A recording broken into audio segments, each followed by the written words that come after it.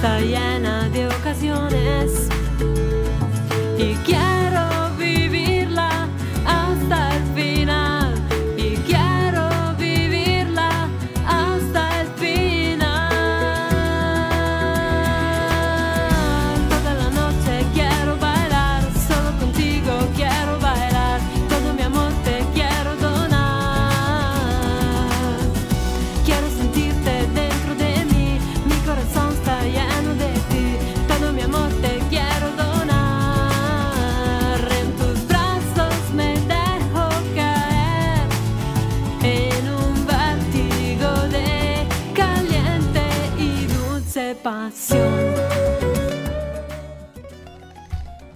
Siete sintonizzati su Radio Speranza in Blu, la radio della Chiesa Metropolitana di Pescara Penne, frequenza 87,6 MHz.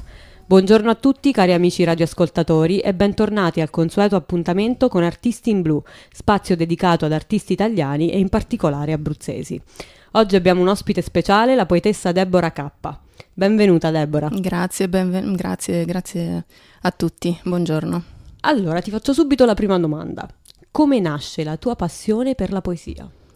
Guarda, nasce dalla tenera età, quando eh, restavo incantata di fronte a racconti sia reali che fantastici, per cui avvicinarmi poi alla lettura è stato del tutto naturale e poi l'incontro con gli studi classici ha, ha, ha cresciuto ancora di più la mia naturale propensione verso il gusto del bello e l'arte in genere. E quindi eh, alla composizione mi sono dedicata quando ho sentito la necessità di esternare sensazioni, sentimenti, considerazioni e riflessioni, però ehm, collocandoli in un percorso volutamente introspettivo che mh, ho, custodito gelosamente senza condividerlo con nessuno. Solo dopo anni, eh, in una seconda fase, invece mi sono lasciata convincere a condividerlo con eh, il mondo esterno attraverso la pubblicazione. Infatti sono autrice di quattro raccolte letterarie. E, mh, quindi posso dire che eh, la mia è una, una, passione che nasce da un bisogno ancestrale, perché non ha, non ha un intento eh, emulativo, nonostante eh, riconosca con grande orgoglio che la critica ha rilevato eh, paralleli con miei predecessori illustri, quali eh, Saba, Ungaretti, Montale, Calvino. Ehm, ritengo però che, che, il mio sia una, un bisogno ancestrale perché per me scrivere versi è come tentare di fermare in quell'attimo l'indefinito che, va, che fa brillare di eterno il, fri- il finito e lambire così il ponte dell'irraggiungibile. Wow. Grazie. Da cosa trai ispirazioni per le tue opere? E da tutto ciò che colpisce la mia sfera emotiva, specie se induce all'introspezione e quindi eh, favorisce dibattito interiore. Ritengo infatti che eh, lo scrivere sia un mezzo potente per uh, analizzare altri bui del nostro essere e, e, quindi metterci in miglior comunicazione con il mondo esterno e con ciò che, che ci circonda, con gli altri, con ciò che ci circonda. Tu hai pubblicato ben quattro raccolte di liriche. Sì. Di cosa trattano? E dimmi e... anche i titoli se vuoi. Ho sempre cercato di differenziare le mie opere per tematiche, ambientazioni spazio-temporali, stile e prospettive. E partendo dalla prima opera, eh, si tratta di un'antologia di 60 componimenti ed è eh, incentrata sulla ricerca del senso dell'esistenza oltre l'illusione della conoscenza ordi- ordinaria del vivere quotidiano. Mm-hmm. Eh, il titolo è Il Carnevale della Vita, è costituita da due sezioni strettamente connesse tra loro eh, in cui nella seconda, intitolata uh, A briglia sciolta, eh, il clima eh, prevalentemente cupo della prima parte va via via dissolvendosi per lasciare spazio a toni più nostalgici e malinconici, talvolta ridenti, perché eh, nella natura e nel mondo parallelo dei sogni si trova un momentaneo ristoro. Quindi in pratica il carnevale della vita è una sorta di burla allegorica del dolore di vivere, in cui in una realtà quasi fittizia le persone eh, preferiscono all'occorrenza utilizzare maschere per celare sia i buoni che i cattivi sentimenti e eh, dal momento che temono di non essere accettate per come sono realmente. Passando invece alla seconda raccolta, eh, è costituita da 40 componimenti e si intitola Amore l'incompiuto. Eh, in essa eh, descrivo l'amore inteso come entità universale in continuo divenire, Esso a mio avviso sboccia, divampa, si trasforma, sembra spegnersi, ma in realtà non ha mai fine perché il suo campo d'azione è immenso. E quindi come un'araba fenice è in grado di rinascere dalle proprie ceneri. Quindi l'amore non va in se- inteso semplicemente come rapporto a due, ma in senso lato nei confronti di varie forme artistiche, in particolare la poesia, la recitazione, la, il teatro, mm. e poi anche la terra natia, eh, le tradizioni, il mondo animale che eh, molto spesso ha qualcosa da insegnare a, al, alla nostra specie. E passando invece alla terza raccolta, è complementare, dicotomica, contrapposta e speculare alla quarta. Mm. È costituita da 35 componimenti, si intitola L'anima e il mare ed è una mia mh, mm, focalizzazione eh, della, di una concezione spiritu- spirituale, diciamo, sì. in cui la natura, ehm, nella sua aurea di potenza ed estasi, assurge a consolatrice dell'anima e protettrice dell'esistenza perché in essa è fortemente ravvisabile l'e- l'elemento divino. E quindi ci sono delicati e freschi bozzetti eh, in cui vige un clima di speranza e desiderio di rinascita. Invece il corpo e la terra, che è l'ultima, che è raccolta, l'ultima raccolta, costituisce con essa per eh, tipologia e caratteristiche una sorta di cofanetto ideale e dà toni più fisici e realistici, e, mh, mm, diversificati nello spazio e nel tempo. Si parte dall'esperienza dolorosa di un corpo che vuole tornare a vivere ad amare, ma che subisce ancora gli assalti negativi del passato e, e quindi ehm, nonostante flashback sereni eh, si, mh, mm, ehm, si, un, si, si, evidenzia l'universalità delle esperienze eh, amorose proprio per cercare, ehm, appoggiandosi l'un l'altro, di superarle.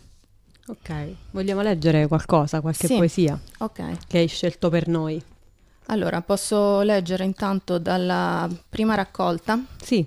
Una poesia che è abbastanza emblematica delle eh, tematiche che io affronto perché eh, I temi che sono a me più cari sono eh, lo smascheramento, il disincanto dell'apparenza, l'auscultazione dei moti intimi, eh, l'indagare i segreti della vita praticamente. Sì, molto, una ragazza molto profonda, si vede già da queste cose. Mm. il vago presagire dell'irrefrenabilità mm. del tempo, è questione anche di carattere sociale, il tema magari scomodo della morte. Questa poesia si intitola La realtà. Sì. Deambulo, frastornata, in una realtà quotidiana fittizia, imprigionata in un labirinto spettrale di specchi che provano godimento nel deformare le immagini, confondendone margini ed essenze, restituendone in un sadico gioco di infiniti rimpalli insospettabili riflessi di verità, centrifugati, smembrati, ma ricomposti placidamente con macchinosa, perfetta precisione, quasi come minute tessere in un mosaico, così da rendere folle la volontà di varcare la soglia del capire. Complimenti. Ti ringrazio. Veramente, veramente sei veramente profonda, lo ripeto, veramente tanto. Ti ringrazio. Vai con la seconda poesia. Allora, ne ho scelta una che fa parte della seconda raccolta e si intitola Anacronismo di Merletti sì. e riguarda le tradizioni abruzzesi ed è stata anche premiata dalla commissione tecnica della, della, dell'Accademia d'Abruzzo, convenzione speciale. Fantastico. Con mani rugose e stanche del peso di anni che invecchiano la vita, ricami in mezzo a volti coetanei, con la grazia di lame di luce impalpabili e polverose, quando filtrano fra fessure di persiane socchiuse, china di passione sull'uscio di casa, tra viuzze lastricate, l'orgogliosa tradizione tramandatati da tua madre, con negli occhi l'impotente tristezza di chi conosce il riso beffardo dell'asettico consumismo che va inghiottendo le ultime custodi di un'arte atavica. Complimenti, bellissime, grazie. veramente bellissime. Molto gentile, grazie.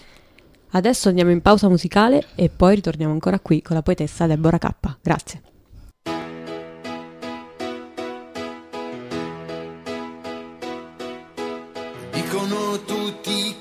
C'è, ma io che l'ho visto so dov'è, o forse non immagini ma non è difficile comprendere. L'hanno lasciato in libertà, vive lontano, non è qua, forse si nasconde in mezzo agli alberi. Vola veloce su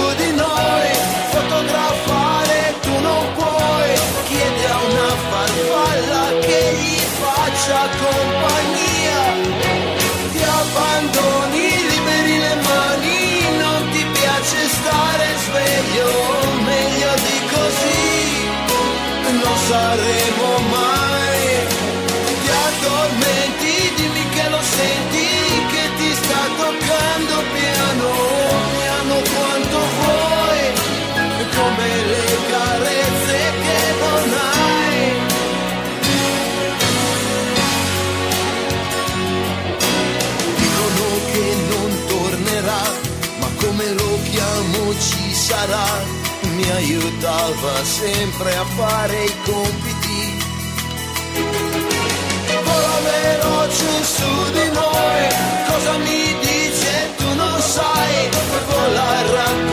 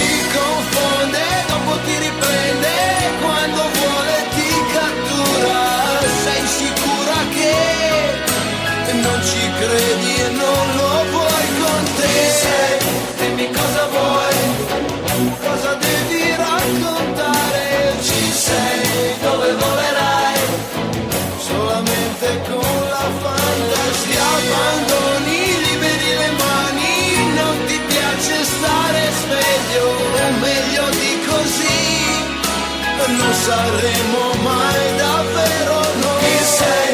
Dimmi cosa vuoi?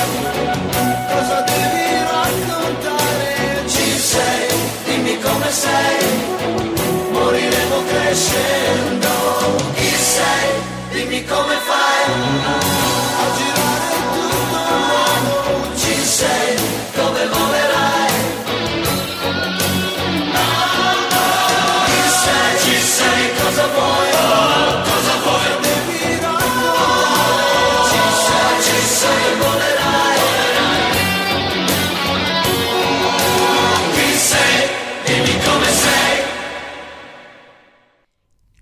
E con questa canzone stupenda di Enrico Ruggeri, che tra l'altro so che è il tuo cantante preferito, torniamo in diretta con Deborah K.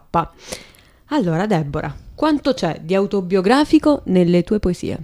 Beh, qualche spunto autobiografico c'è sempre. Poi la mia idea è quella di divulgare il più possibile in ehm, termini universali, quindi eh, si parte magari da qualcosa di autobiografico perché ritengo che la scrittura sia un mezzo potente per analizzare attribui del nostro essere, però poi si cerca di restituire il tutto in termini più universali.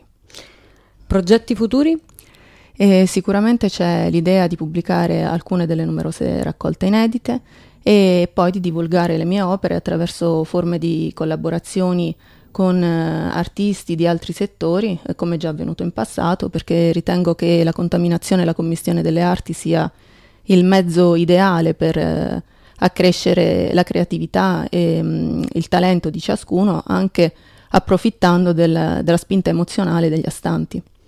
Senti, ultima domanda. Dove possiamo seguire eh, la tua attività artistica? Sicuramente su internet eh, si trovano molte informazioni, ho, So che sei molto seguita su internet, quindi... E a parte, mh, e quindi ho, ho creato anni fa, eh, il, ideato e creato il sito dei miei libri all'indirizzo webalice.it occhiblu underscore oltremare e qui eh, in sezioni ci sono mh, vari approfondimenti che riguardano il contenuto delle opere, alcune poesie tratte da ciascuna, eh, da ciascuna opera, eh, link a, a diversi articoli di giornale, interviste, partecipazioni a trasmissioni radiofoniche, televisive, manifestazioni culturali. E, mm, e, poi c'è anche una nutrita sezione video, eh, um, c'è il, il, link al canale YouTube che curo anch'io. E mm, in esso ci sono eh, video di alcuni reading a cui ho preso parte e ovviamente c'è il, anche la, la, sezione social eh, con profilo e pagina Facebook per avere notizie eh, sulle novità. Eh, ci sono per anche, acquistare i tuoi libri? Ci sono anche mm. indicati punti vendita, mm-hmm. ovviamente. Mm-hmm. E, e, poi c'è il profilo, il, il biglietto virtuale, ci sono tutti i, crismi necessari. tutti i link. Sì, tutti. ok. Va bene. Deborah, io ti ringrazio infinitamente per essere stata con noi e averci regalato veramente mm, dei bei momenti di, di poesia. Ti ringrazio per di avermi... alta poesia, oserei dire. grazie, Un grazie linguaggio e uno stile veramente, veramente impeccabili. Grazie mille, grazie a voi per avermi ospitata. Io ringrazio tutti i nostri, radio, i nostri amici radioascoltatori e vi do appuntamento alla prossima con la rubrica Artisti in Blu. Grazie.